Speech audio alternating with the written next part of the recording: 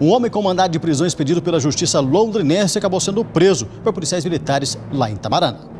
Com mandado de prisão expedido pela justiça londrinense pelo crime de receptação, Michael Jean dos Santos, de 20 anos, foi preso por policiais militares da Patrulha Rural entre Tamarana e Mauá da Serra.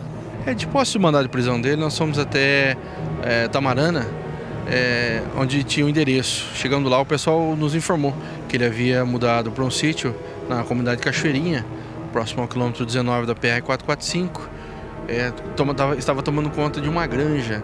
Aí nos deslocamos para lá, chegamos lá, realmente ele estava trabalhando no local, conversamos com o mesmo lá, explicamos a ele que havia saído mandado de prisão contra ele, que a gente ia conduzi-lo para a delegacia. Foi dado voz de prisão a ele e foi trazido para a delegacia. Esse mandado de prisão seria pelo crime de receptação, cara? Exato, ali no, no, consta como receptação qualificada, segundo informações aí que obtivemos até dele próprio, ele comprou uma moto sendo baixada do Detran e essa moto estava com o número do motor também empinado.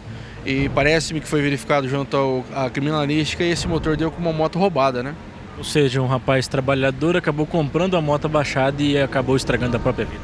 É, o pessoal da área rural eles têm essa mania de comprar essas motos baixadas de leilão e em vez de montar uma que é a lei diz dessa forma, montar em cima de uma moto legal, eles dão uma, uma garibada na, nas motos aí baixadas e começam a rodar na rural, diz que não dá nada, área rural, eles não vão para rodovia e coisa nesse sentido.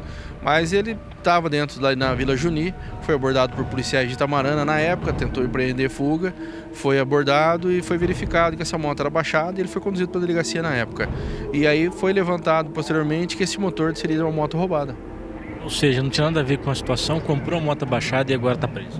Exatamente. Agora saiu mandado de prisão para ele. É, segundo ele, tá, tinha um advogado que falou para ele que estava tudo certo, mas acho que ah, o, o advogado deve ter errado em alguma coisa. Dia 20 de abril, se não me engano, saiu mandado de prisão dele e hoje nós conseguimos.